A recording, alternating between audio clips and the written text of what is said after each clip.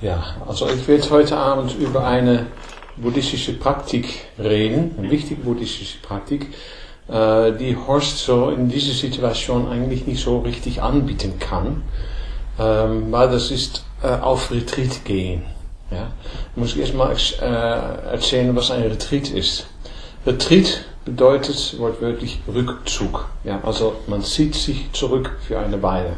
Man zieht sich zurück aus dem Alltag, von der Familie weg, von allen Verpflichtungen weg, von der Arbeit weg, von unseren Gewohnheiten weg. Ja? Man geht einfach aus seinem normalen Leben raus. Man schafft sich Raum, man schafft sich eine Distanz. Äh, und das kann man für ein Wochenende machen, das kann man für eine Woche machen. Manche Leute machen es für ein Jahr oder für drei Jahre. Kenne ich auch Leute, die das machen. Ähm, also da gibt es eine große Bandbreite auch. Ich glaube, ein Wochenende ist eigentlich minimal. Ja, um auf Retreat zu gehen, ist ein Wochenende ist das Minimum. Um mal wirklich so ein bisschen Raum zu spüren, ein bisschen Distanz zu spüren, ein bisschen rauszukommen. Ähm, und man, ja, man geht noch wirklich weg. Also aus seiner normalen Situation raus. Man geht irgendwo anders hin. Ja? Äh, am, am liebsten ein bisschen weiter entfernt, dass man auch wirklich das Gefühl hat, weg zu sein.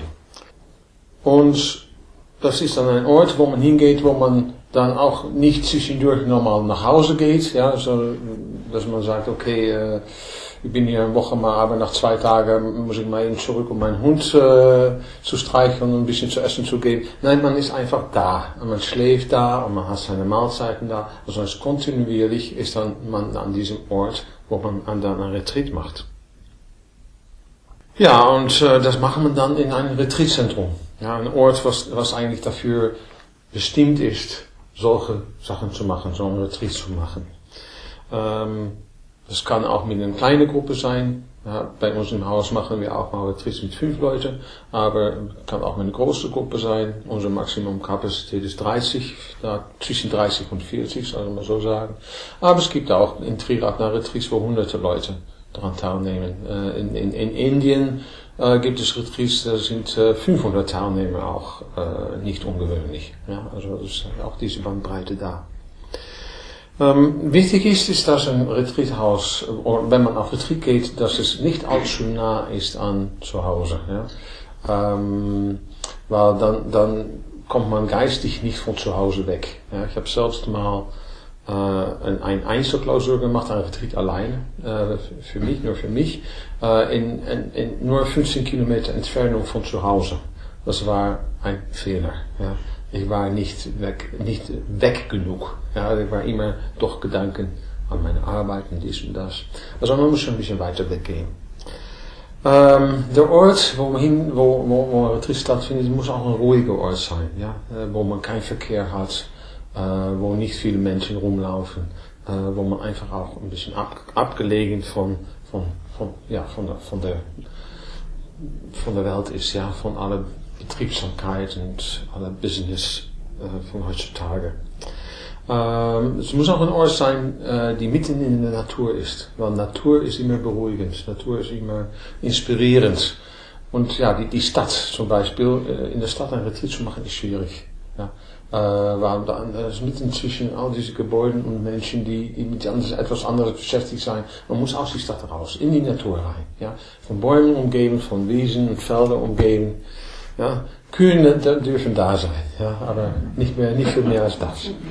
Und es muss eine einfache Umgebung sein. Ja, ein, ein, ein, ein Retreathaus äh, ist einfach äh, ausgestattet. Da ist nicht viel Schnickschnack da. Äh, es ist einfach das, was was man braucht, ja, aber kein Luxus und kein, kein, ja, kein Zeug, was nur sozusagen unsere Wahrnehmungen ähm, ablenkt. Ja. Es ist nicht nichts Ablenkendes. Ähm, und es muss auch eine ästhetische, ästhetisch schöne Umgebung sein. Etwas, wo, wenn man da ist, dass man automatisch schon in eine bessere Geistesverfassung kommt. Ja? Das ist eigentlich, wie die Umgebung von einem Retreatzentrum sein soll. Man geht dahin und automatisch fühlt man sich schon anders. Ja? Ist man schon in eine bessere, offenere Geistesverfassung. Ähm, und so bestimmte Sachen äh, sollen auch überhaupt nicht da sein. Keine Zeitung, keine Zeitschriften, kein Radio, kein Fernsehen, Kein Handys, kein Telefon, kein Computer, kein Internet. All diese Sachen, die uns normalerweise so beschäftigen, die uns normalerweise so ablenken, die uns normalerweise so durcheinander bringen eigentlich. Äh, und dass wir ständig von allen möglichen Sachen absorbiert sind und, und ähm, ja, wo es schwierig ist, zur Ruhe zu kommen, die sollen alle weg sein. Ja? Also wenn man auf Retreat geht, dann äh, soll man all diese Sachen zu Hause lassen und nicht mitnehmen. Ja? Es sei denn, dass man, man mal wirklich einen absolut guten Grund hat. Ja, äh, das, ja, es passiert mal, dass jemand sagt, ja, meine Mutter ist ernsthaft krank. Äh, wenn da was passiert, muss ich, ich muss, muss angerufen werden können oder so etwas. Ja, dann, dann kann man vielleicht mal sagen, aber sonst all das, all dieses Zeug, all dieses, äh, all diese Elektronika, ja, äh, die unsere Geister unruhig macht, soll nicht da sein. Ja, also das zum Ort, ja, zum Retreatzentrum. Ein Ort, der schön ist, die mitten in der Natur ist, abgelegen, ruhig, ja, wo man wirklich auch zur Ruhe kommen kann, wo all dieses Zeug, die uns normalerweise so beschäftigt, einfach nicht da ist. Und dann hat man ein Programm. Man hat ein Programm äh, mit Meditation, mit Gespräche, mit äh, vielleicht mit Vorträgen, ähm, mit Freizeit, dass man auch mal in die Natur reingehen kann, spazieren gehen kann. Und dieses Programm bietet auch eine Struktur. Ja, und das ist auch hilfreich. Einfach eine Struktur zu haben, wo man drin ist, wo man mit anderen Menschen zusammen auch dann zusammen meditiert und Gespräche hat, zusammen Mahlzeiten hat, ähm, also ein gemeinsames Leben hat. Ähm, und was da auch dazu gehört, ist, ähm, dass, dass wir jedenfalls in unserem Retreatzentrum ist auch ähm, funktioniert auf Basis von Selbstversorgung. Also ähm, man, man, wir, wir kochen untereinander, wir, wir bereiten die Mahlzeiten vor, wir spülen untereinander. Also man macht die Aufgaben gemeinsam. Es ist nicht so wie ein Hotel. Ja? Ein Hotel, da wird alles für uns versorgt. Nein, auf Retreat machen wir das gemeinsam. Es ist Teil vom Retreatleben, gemeinsam Sachen zu tun. Die Arbeiten auch, die gemacht werden müssen. So, das ist ein bisschen so zu den Bedingungen, wo man äh, ein Retreat macht. Ne? Ich werde später darauf äh, zurückkommen, warum ein Retreat wichtig ist. Ja? Und in welcher Hinsicht es hilft, in welcher Hinsicht es hilfreich ist. Ähm, ich werde jetzt erstmal ein bisschen autobiografisches machen. Ein bisschen erzählen, warum Retreats für mich äh, sehr zentral sind in meinem Leben, in Retreatzentren zentral sind in meinem Leben. Ähm, ich habe diese Triratna-Bewegung über Retreats kennengelernt. Ja, vor äh, jetzt 32 Jahren, äh, als ich noch in Holland lebte, äh, habe ich jemand begegnet, der hatte ein Wochenendretreat bei Triratna gemacht. Damals hießen wir noch die Freunde des westlichen buddhistischen Ordens. Gott sei Dank ist es Triratna. Das ist viel leichter auszusprechen, nicht so lang. Ähm, aber damals habe ich dann äh, jemanden kennengelernt, der hatte so ein Wochenende gemacht und mich darüber erzählt. Und ähm, obwohl ich damals nichts mit Buddhismus zu tun hatte, äh, nichts, nichts zu tun haben wollte, äh, hat mich Meditation fasziniert. Ja? Und diese Person, die ich dann kennengelernt habe, äh, hat mich auch irgendwie beeindruckt. Ja? Die hatte was. Ja? Und ähm, dann dachte ich, ja, das ist interessant, vielleicht hat das mit Meditation zu tun. Und ähm, dann habe ich selbst auch mal so ein Wochenende versucht, mal ausprobiert, was, wie das denn ist, zu meditieren. Ähm, bin dann zu so einem Triratna-Wochenende gegangen und Meditation fand ich gut. Buddhismus fand ich erstmal schrecklich. Ich hatte große Vorurteile, wollte eigentlich nichts damit zu tun haben. Hat sich geändert über die Jahre. Ja? Aber das war so erstmal meine Skepsis. Ja, ich dachte auch, ja, Triratna oder damals FWBO, das ist eine Sekte. Und war erstmal, erstmal sehr, sehr skeptisch. Aber über die Zeit habe ich dann gemerkt, dass das Vorurteile waren dass das, was, was wirklich da war, ähm, auch wirklich eine gute Sache war. Aber jedenfalls, ähm, mein Punkt ist eigentlich, meine erste Erfahrung von Triratna war Teilnahme an Retreats. Weil es gab auch nichts anderes in Holland. In Holland gab es kein Zentrum, wo man hingehen konnte. Äh, es gab nur jemand, der zweimal pro Jahr ein Wochenendretreat organisiert hat. Und da kamen dann Ordensangehörige aus England und die haben das geleitet. Ja. Und das war meine Erfahrung von Triratna in den ersten paar Jahren. Ja. Bin dann auch mal nach Deutschland gegangen, um Retreat mitzumachen. Bin nach England gegangen, um Retreat mitzumachen. Aber für lange, längere Zeit war nur Retreats waren meine Erfahrung ja, von, von Meditation. Und die haben mich sehr viel gebracht. Ja. Ich habe dann irgendwann auch angefangen, selbst zu Hause zu meditieren. Aber immer auf Retreat zu gehen, war sozusagen ja, die Erfahrung, wo ich dann wirklich gemerkt habe, ah, darum geht es. Ja. Da, da war die Vertiefung da. da war, ich war, kam dann aus meiner eigenen Umgebung raus, aus meiner Arbeit äh, und ich war dann, dann in dieser Situation und habe diese Gemeinschaft da kennengelernt. Und ähm, gemerkt, dass man anders miteinander umgehen kann, als was ich in meiner Arbeit zum Beispiel erlebt habe. Äh, und gemerkt, dass da Menschen sind mit anderen Interessen, mit anderen ähm, Vorstellungen, wie das Leben ist. Ja? Und, und äh, gemerkt, ah, das sind ja Menschen, die auch bestimmt in sich auch so denken wie ich. Und ähm, ich habe da eine Verbundenheit gespürt, äh, die man dann auch mehr und mehr ähm, äh, in Kontakt auch mit, mit, mit, der Lehre, mit dem Lehre des Buddha gebracht hat. Aber ich immer mehr erkannt habe, dass der Buddha ja, etwas entdeckt hatte, etwas gefunden hatte, was, äh, was für mich auch relevant war. Ähm, aber es war wirklich auf Retreat zu gehen, war, war meine Praxis für Jahre. Ja. Und ähm, irgendwann hat das dazu geführt, dass ich dann gesagt habe, okay, jetzt möchte ich diese Bewegung mal besser kennenlernen. Und dann bin ich nach England gegangen, weil in Holland gab es eigentlich fast nichts. Und in England habe ich dann äh, in einer Wohngemeinschaft gewohnt von Triratna. Ich habe da einen äh, Unternehmen Recht und Lebenserwerbs gearbeitet und da dann noch viele andere Seiten kennengelernt von, ja, wie man so praktizieren kann. Ja. Und dann interessanterweise kam ich dann doch wieder zurück zu Retreats, weil als ich da war, hat das Stadtzentrum, wo ich war, hat ein Retreatzentrum gekauft. Oder ein, Haus gekauft, was ein Retreatzentrum werden sollte. Und ich bin da mit einem Team von drei anderen Leuten hingegangen, um das Haus zu renovieren. Das war meine erste große Renovierungsarbeit. Äh, also da habe ich auch wieder die Verbindung mit äh, Retreatzentrum gemacht. Ja?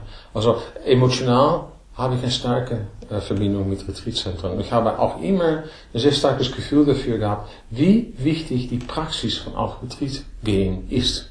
Ja? Aus der eigenen Erfahrung. Und auch, weil ich immer wieder gesehen habe, wir haben erst das Haus renoviert und dann habe ich mit einem Freund habe ich das Haus auch geleitet, habe da Retreats geleitet. Und ich habe immer wieder gesehen, wie Leute da hingekommen sind, ja, am Anfang vom Wochenende, erstmal, ja, ganz belastet von ihrem Alltag, von ihrem Leben, von ihrer Arbeit.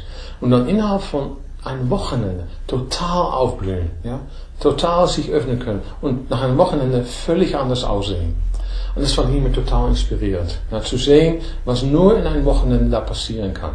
Ja, wenn man Leute nach einer Woche sieht, nach einer Wochenretreat, das kann eine totale Änderung sein, wo Leute da durchgehen. Ähm, also ja, in meiner eigenen Vergangenheit, in meinem Weg, Buddhist zu werden, war eigentlich Retreats und Retreatzentrums immer sehr zentral. Das hat sich dann äh, weitergeführt, als ich ähm, aus England zurückgekommen bin. Äh, erstmal war ich zurück in Holland, habe ich zwei, da zwei Jahre äh, buddhistische Aktivitäten äh, aufgebaut und dann bin ich nach Deutschland gekommen. Ähm, nach Essen, was ein Stadtzentrum ist, aber Essen hatte auch schon, als ich nach Deutschland kam, ein Retreatzentrum in Bad Berleburg in Sauerland. Das hieß Kühude. Ja. Und ähm, diese, diese Ort habe ich dann auch sehr schnell kennengelernt und total geliebt. Ja. war für mich dann auch ein sehr, sehr wichtiger Ort und ich bin da immer wieder sehr gerne auf Retreat gegangen.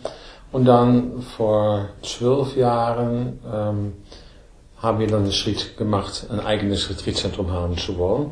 Dann haben wir äh, das Küde war gemietet und wir, sind, wir haben dann das Haus in Sauerland gefunden, wo ich jetzt lebe. Ja. Äh, das war in 2000 und die letzten zwölf Jahre habe ich damit verbracht, das Haus äh, ja, zu renovieren und auszubauen und von einem Naturfreundehaus, das war es, eigentlich äh, zu transformieren in ein Retreathaus. Und die Änderungen, die über die zwölf Jahre da äh, sichtbar geworden sind, sind nicht nur Änderungen sozusagen dadurch, dass Räume renoviert worden sind, dass, sie, dass, dass, das, dass das Grundstück da äh, neu strukturiert ist. Und wir haben da auch sogar Stupa da. Aber das, was viel wichtiger ist, da hat sich über diese zwölf Jahre eine sehr, sehr starke Atmosphäre aufgebaut. eine sehr, sehr starke meditative Atmosphäre. Ja. Und wenn Leute da hinkommen, dann sagen die, hey, was ist hier denn los? Ja, man spürt, da ist was Besonderes. Man spürt, dass da über zwölf Jahre von ständigen Retreats, weil Leute praktiziert, praktiziert haben, dass da eine starke Atmosphäre entstanden ist und dass man eigentlich nur sich öffnen muss äh, zu dieser Atmosphäre, um schon in eine völlig andere Geistesverfassung zu kommen ja? und schon ähm, aus seinem Alltag herausgehoben zu werden. Und das ist eigentlich auch was, äh, was meine Vision äh, immer gewesen ist für dieses Haus. Dass es ein Ort ist, wo Leute hinkommen können und dann wirklich eigentlich sehr schnell auf eine tiefere Ebene von ihrer eigenen Praxis kommen können. Ja, und jetzt komme ich dann äh, damit auch dazu, äh, zu sagen, was ein Retreat bringen kann. Ja? Ähm, so erstmal ganz einfach, ein Retreat ist eine wunderbare Art Pause zu machen. Ja? Ähm, es ist viel besser als Urlaub. Ja? Urlaub ist manchmal sehr, sehr anstrengend. Und man kommt müde zurück. Von einem Retreat kommt man vielleicht auch müde zurück, weil das ist, man bemüht sich, aber auch mit sehr viel Energie, ja, und eine Energie dann noch sehr lange anhalten kann, ja. Man kommt zurück nach Hause mit einer großen Vitalität, mit, mit neuer Inspiration, mit neuer Lebendigkeit. Ja. Das kann man von Urlaub nicht immer sagen. Äh, also, das auf der, auf der Basisebene ist ein Retreat erstmal eine sehr, sehr effektive Pause. Dann ist ein Retreat eine große Chance. Eine Chance, um die eigene Meditationspraktik Praktik zu vertiefen, wenn man schon eine hat, oder wenn man noch keine äh, regelmäßige Praxis hat, eine regelmäßige Praxis anzufangen und aufzubauen. Ja. Ähm, von, von, sehr vielen Leuten höre ich, ja, die, die meditieren vielleicht einmal in der Woche oder zweimal in der Woche und sagen, ja, ich finde das doch schwierig, das wirklich im Gang zu halten, es fällt so leicht weg. Wir machen dann ein Wochenende bei uns und nachher sagen sie, ja, jetzt habe ich es wirklich den Zugang gefunden, ich werde jetzt jeden Tag meditieren. Und die machen das auch. Vielleicht zwei Monate, vielleicht ein Jahr, und vielleicht fällt es dann auch immer, irgendwann auch mal wieder weg. Aber man kommt wieder auf Retreat und dann läuft es wieder. Ja. Also ein Retreat ist auch so wirklich ein, ein gute Stimulans, um ja, eine regelmäßige Praxis aufzubauen und zu vertiefen. Und da, da, darin auch eine ganze Menge Inspiration zu gewinnen. Ja, nicht nur Inspiration, was Meditation betrifft, auch Inspiration, was die buddhistische Lehre betrifft. Ja, wir auf Vertritt werden auch immer Vorträge gehalten zu buddhistischen Themen, werden Gesprächsgruppen gemacht, wo man sich äh, über solche Themen auch austauschen kann. Und ähm, da kommt dann auch Inspiration. Ja? Da ist bei mir auch die, die, die Münze gefallen, damals, als ich äh, nochmal sehr, sehr skeptisch war über Buddhismus und sagen, nee, dieses östliche Zeug will ich nichts zu tun haben. Ja, auf dieser Retreats habe ich immer wieder Vorträge gehört und so Gesprächsgruppen und da entdeckte ich, ah, da ist so viel Richtiges da drin. Ja, meine Vorurteile sind falsch. Ja, und dann habe ich auch immer mehr verstanden, worum es eigentlich geht. Also ich habe sehr viel Inspiration gewonnen. Dann ist ein Retreat auch eine Zeit, wo man mal Balance, Bilanz ziehen kann. Ja? Einfach mal sein Leben anschauen und sagen, was mache ich eigentlich mit meinem Leben? Wie sieht mein Leben denn aus? Ja? Wie sehen meine Beziehungen mit anderen Menschen aus? Wie sieht meine Arbeit aus? Was will ich da eigentlich? Und ist das, was ich tue, das, was ich wirklich will? Ja? Gerade weil man aus den Hamsterrad raus ist, ja, weil man aus seiner normalen Umgebung mit all seinen Erwartungshaltungen und all seinen Verpflichtungen, weil man mal raus ist, kann man frisch sein Leben anschauen. Kann man wirklich sagen, okay, was will ich eigentlich? Ja? Ähm, und das ist eine ideale Situation, um für sich selbst eine neue Perspektive zu bilden. Ja, einfach zu gucken, äh, okay, ja, das ist bisher gelaufen, aber das muss nicht so weitergehen, ich könnte auch was anderes machen. Ja? Einfach mal die Freiheit zu spüren, wenn es nur im Gedanken ist, die Freiheit zu spüren, sagen, ich könnte etwas völlig anderes mit meinem Leben machen. Ja? Okay, vielleicht, dass man dann nachher sagt, naja, praktisch gesehen habe ich noch diese Verpflichtungen, das und das. Aber es hilft, um sein Leben zu öffnen, ja, die Türe zu öffnen. Einfach zu sagen, es gibt Freiheit. Ja. Ich bin nicht absolut gebunden. Ja, ähm, auch wenn ich das manchmal so spüre, wenn ich spüre, ich bin in meinem Leben, Leben absolut gefangen. Aber wenn man mal hinschaut und die Imagination wirken lässt, dann kann man sehen, ach, Änderung ist nicht möglich. Ich kann Sachen anders machen. Ja, ich muss nicht immer so weitermachen. Ja, ich muss auch nicht immer die Erwartungshaltungen von anderen Menschen entsprechen. Ja. Ähm, ich muss auch nicht meinen eigenen Erwartungshaltungen vielleicht entsprechen. Ja, man kann sich ein Stückchen Freiheit machen, aber dafür muss man erstmal aus seiner normalen Umgebung raus und in einer Situation sein, wo es völlig akzeptiert ist, dass man so sich mal öffnet und also frei seine Imagination wirken lässt. Ja? Äh, wo man auch, auch das Gefühl hat, ja, durch die Meditation wird man klarer, durch die Meditation wird man achtsamer, mehr gewahr.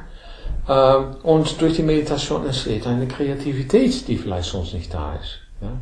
Und äh, das sind alle Faktoren, die helfen können, um äh, ja, einfach mal so ein paar neue Ideen zu haben. Und zu sagen, okay, mal gucken, was ich da umsetzen kann. Ja, ähm, nächster Punkt.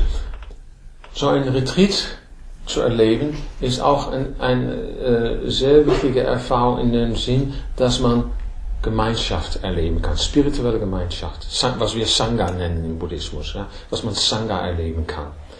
Ähm, man geht den Weg nicht alleine.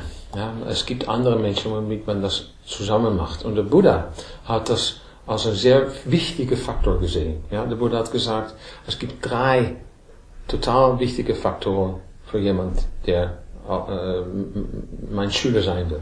Ja, also das Buddha, Dharma und Sangha, die drei Kleinoden. Der Buddha, das Ideal der Erleuchtung. Ja, das, was der Buddha sagt, alle Menschen das erlangen können, ja, wenn sie sich wirklich richtig bemühen, können alle Lebewesen Erleuchtung erlangen. Vielleicht nicht in einem Leben, aber vielleicht in mehreren. Dann der Dharma, die Lehre, ja, der Weg zu dieser Erleuchtung und dann die Gemeinschaft, Sangha. Ja. Und die drei Juwelen sind alle drei gleich wichtig. Also die Gemeinschaft, das Zusammenerleben, das Zusammengehen von diesem Weg, ist genauso wichtig als der Weg selbst und als das Ziel Erleuchtung. Und das ist ein ganz interessanter Gedanke, ja, dass diese Gemeinschaft so wichtig ist. Und wenn man auf Retreat ist, kann man das mal erleben. Für ein Wochenende, für eine Woche. Ja, einfach mit vielleicht 20 Leute zusammen zu sein, zusammen zu essen, ja, zusammen zu meditieren, äh, zusammen spazieren zu gehen, zusammen zu putzen, ja, zusammen zu kochen, zusammen was auch immer zu machen. Und dann zu erleben, dass man das ja, mit sehr viel Freundlichkeit und Gewahrsein und Positivität gemeinsam machen kann. Und was das für einen Effekt auf den Geist hat. Ja, das ist ein ganz besonderes Erlebnis. Und das ist, das ermöglicht äh, ein, ein Retreat. Ja. Ähm, man kann das hier so ein bisschen erleben am, am, am, an, an diesen Abenden. Ja. Kann man auch so ein bisschen das Gefühl dafür bekommen, was es ist, zusammen zu praktizieren, wie wir das heute Abend gemacht haben. Ja, dann zusammen nochmal ein bisschen zu plaudern, eine Tasse Tee miteinander zu trinken. Da kriegt man auch schon ein gutes Gefühl dafür. Aber man kann sich mal vorstellen, wie das ist, wenn man eine Woche, ja, nur ein Wochenende oder eine Woche oder länger zusammen ist. Ja. Dann sind es noch, ähm, es gibt noch ein paar andere interessante Aspekte an einem Retreat. Wir machen auf Retreats oft Schweigephasen. Ja? Man ist zusammen im Schweigen. Ja? Das, kann, äh, das kann ein paar Stunden sein. Es es gibt auch Retreats, dass man tagelang im Schweigen ist. Ich war auch auf einem Retreat, waar man drei Wochen lang im Schweigen.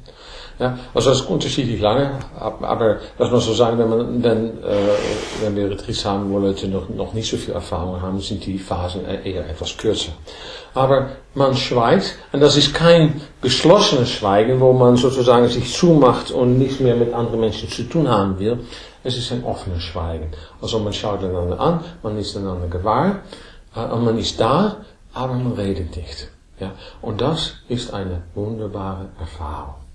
Einfach mal nicht reden zu müssen, ja, nicht ständig mal irgendwie sich austauschen zu müssen, einfach zur Ruhe zu kommen, den Geist zur Ruhe kommen zu lassen, mit anderen Menschen, die das auch machen. Ja. Einfach dieses Schweigen zu genießen und sich voll darauf einzulassen und zu merken, wie viel Energie das gibt. Ja. So viel Energie geht verloren, einfach dadurch, dass wir versuchen, so ein bisschen sozial zu sein. Ja? Und in der Gesellschaft kommt man davon nicht weg. Das, das, ist, das geht einfach auch nicht anders. Die Gesellschaft ist so. Man muss so mit anderen Menschen umgehen. Aber auf einem Retreat hat man mal die Möglichkeit, sich gemeinsam zu entscheiden, das anders zu machen. und nur still zusammen zu sein. Und dann merkt man, der Gewahrsein wird dann auch so viel schärfer. Ja, man fängt an so viel mehr zu sehen, so viel wahrzunehmen. Man nimmt andere Menschen auch sehr viel mehr wahr. Ja, man, sicher, sicherlich, wenn Schweigen ein bisschen länger wird, dann kann man auch wahrnehmen, in welcher Verfassung jemand anders ist. Ob jemand traurig ist oder fröhlich ist oder wie auch immer. Ähm, man spürt das, man nimmt das wahr. Man muss nicht darüber reden. Ja, man kann einfach, man schaut eine andere Person an, man weiß, wer diese andere Person ist. Äh, und, man hält die Energie in sich selbst. Ja, man bleibt innerlich still und ruhig. Eine wunderschöne Praktik. Und das kann man eigentlich außerhalb Retreats kaum erfahren. Es ist auch was anderes, wenn man allein zu Hause ist und schweigt, ist nicht das Gleiche. Ja? Es ist gerade auch das Gemeinsamsein mit anderen und dann im Schweigen zu sein. Noch ein anderer Aspekt von ähm, Retreats ist, ähm, ich weiß nicht, wie, wie, wie weit hier auch buddhistische Rituale gemacht werden. Ja, wir haben jedenfalls heute Abend die Scheinverbeugung erstmal äh, gemacht am Anfang und wir werden nach meinem Vortrag auch noch ein äh, kleine einfache Puja machen mit ein paar Mantras und so weiter. Ähm, und Rituale können ein, auch eine sehr, sehr positive Wirkung auf uns haben, aber wirken viel stärker, wenn man, stärker, wenn man auch ist, weil da sozusagen keine Ablenkung ist. Ja, wenn man dann ein Ritual zusammen macht, dann geht es noch ein Stück tiefer, als wenn man das äh, vielleicht mal hier so macht oder, ähm, oder zu Hause alleine oder so etwas. Also Rituale äh, kriegen da auch eine, eine besondere Bedeutung. Ja, ähm, das könnte man wahrscheinlich noch mehr darüber sagen, aber ich denke, das reicht jetzt mal so. Für mich in meiner Wahrnehmung erstmal persönlich und was ich bei anderen Menschen sehe immer wieder, ist, dass Retreats die Zeit der großen Fortschritte ist. Der großen Sprünge. Ja, wo Leute mal wirklich einen großen Sprung, einen großen Fortschritt äh, nach vorne machen. Ja, einen großen Schritt nach vorne machen. Unsere Praxis, ja, wenn wir, wenn wir eine regelmäßige Praxis haben, Meditationspraxis, kann manchmal im Laufe der Zeit so ein bisschen trocken werden. Ja, so ein bisschen, ach ja, man meditiert vielleicht schon ein Jahr oder zwei Jahre, ja, vielleicht einmal in der Woche, vielleicht jeden Tag, aber es kann so ein bisschen trocken werden. Ja. Ähm, wenn man auf Retreat ist, kommt da wieder Energie rein, kommt da wieder Vitalität rein. Und das sind die Momente, dass, äh, dass man dass man auch tiefe Erfahrungen machen kann. Ja. Ähm, wenn wir, wenn wir äh, zu Hause oder hier meditieren, unser Geist ist noch voll von alles, was wir so normalerweise machen am Tag. Ja. Ähm, vielleicht ist man auch müde, äh, wenn man am, am äh, Donnerstagabend hierher kommt. Man hat einen vollen Tag gehabt, man hat sich mit ganz vielen Sachen beschäftigt, mit Menschen geredet. Und dann dauert es erstmal, vor der Geist zur Ruhe kommt. Ja. Wenn man auf Retreat ist, dann hat man viel mehr Zeit. Ja? Und es ist viel leichter, vielleicht hat man diese Müdigkeit und diese Sachen, die durch den Kopf gehen, am, am, sag mal, wenn man Freitagabend auf das Lied kommt, ist es am Freitagabend so. Am Samstagmorgen sieht es schon anders aus. Ja? Und im Laufe des Wochenendes wird der Geist immer ruhiger. Ja? Und dann geht die Meditation natürlich auch tiefer. Dann kann man auch Erfahrungen machen, die man sonst nicht so leicht macht. Ja? Ähm, also für die Meditationspraxis ist ein Retreat total hilfreich. Und es ist auch hilfreich im Sinn, dass es ähm, hilft, das Vertrauen in, dem, in der eigenen Praxis, ob das Meditationspraxis ist oder die Praxis von Ethik oder von Einsichtsentwicklung, dass das Vertrauen in der Praxis vertieft. Ja? Äh, es, ist, es ist wirklich inspirierend und man äh, gewinnt Vertrauen. Man entwickelt ein äh, tieferes ethisches Gewahrsein. Ja? Äh, wenn man auf Retreat ist, dann versucht man auch in bestimmte äh, metavolle Weise miteinander umzugehen. Ja? Und das bedeutet dass auch ähm, die, das ethische Aspekt von wie man miteinander umgeht, wird auch angesprochen. Ja? Dass man versucht freundlicher zu sein, äh, nicht so leicht ähm, ungeduldig zu sein, nicht so leicht äh, sich verletzt zu fühlen oder was, auch wenn jemand etwas sagt, was uns nicht gefällt, sich nicht so leicht zu ärgern, ja, geduldiger zu sein. Und es sind auch schon andere Aspekte. Zum Beispiel, unsere Retreathaus war eigentlich immer vegetarisch. Ja, also fast, fast alle Buddhisten sind Vegetarier. Waar, äh, wir als, als, als erste ethische Vorsatz haben, nicht zu töten, nicht zu verletzen. Und das bedeutet, dass ähm, viele Buddhisten sich entscheiden, kein Fleisch zu essen, war um Fleisch zu essen, muss man Tiere töten. Ja? Also wir sind als ähm, buddhistisches ähm, Haus auch vegetarisch und seit kurzem haben wir einen Schritt weiter gemacht. Wir äh, sind jetzt vegan. Ja, das bedeutet, dass wir auch keine Milchprodukte mehr haben, weil es so klar ist, dass eigentlich die ganze Tierindustrie so viel Leiden verursacht. Und dann haben wir gesagt, okay, dann äh, führen wir das Haus auch vegan. Und die Menschen, die auf Retreat kommen, die werden dadurch erstmal ans Denken gebracht. Ja? Äh, und, und, vielleicht haben viele Menschen auch erstmal skeptisch von, ja, ist das dann gesund und äh, kann man überhaupt lecker essen? Wenn man bei unserem Wochenaufvertrieb ist, dann kann ich versichern, dann wird lecker gegessen. Ja? Und man erfährt eigentlich dann, ja, so geht's auch. Ja? Äh, und man, man realisiert sich, ich muss eigentlich nicht Fleisch essen. Ja? Und ähm, man sieht, dass es andere Möglichkeiten gibt. Und vielleicht ist es auch ein wachsendes Gewahrsein dafür, dass wir durch unsere Essgewohnheiten vielleicht auch Leiden verursachen. Also Retreats steigern uns unser ethische Gewahrsein. Das ist auch noch so ein Nebeneffekt. Und wie gesagt, ähm, man kriegt eine Erfahrung von Sangha, ein Erlebnis von Sangha. Und das schafft auch eine größere Wertschätzung von der Bedeutung von Sangha.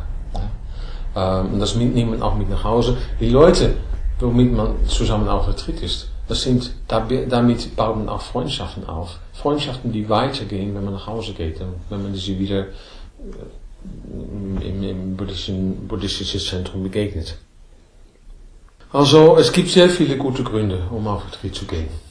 Äh, und äh, damit mache ich natürlich auch ein bisschen Werbung für unser eigenes Haus. Ja. Äh, Horst, du hast wahrscheinlich ein paar Programme für uns irgendwo. Ja, ich habe es heute vergessen rauszulegen, weil du die ganze Zeit, also normalerweise sind die an dem Tisch, wo du vorhin deine Notizen geschrieben hast. Ich lege sie natürlich äh, nachher raus. Ah, ja, ja. ja, ja. Äh, aber ich mache nicht, nicht nur Werbung. Äh, ist, ich hoffe, was rüberkommt, ist meine eigene Begeisterung auch ja, für Betriebs.